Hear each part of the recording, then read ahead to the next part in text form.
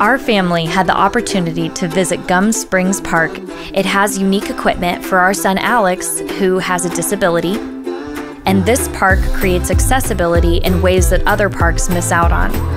One element of this park was remarkable for Alex. It allowed him to reach the slide by climbing and crawling.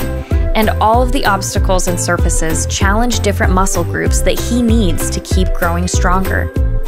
AB Creative Parks are the best out there for children with disabilities.